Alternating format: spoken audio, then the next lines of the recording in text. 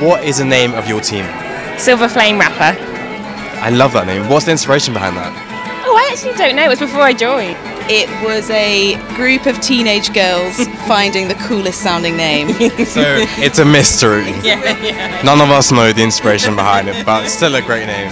Your style of Morris dancing, what is it called? It's called rapper dancing. So the swords that we use are called rappers, and supposedly that like the kind of like cultural myth of it is that um, miners would use those kind of like bendy bits of metal to wipe the sweat off pit ponies' backs.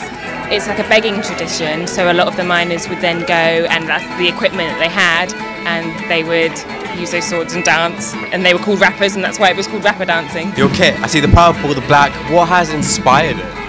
The same as the 16 year old girl Yeah. thing, like black and purple.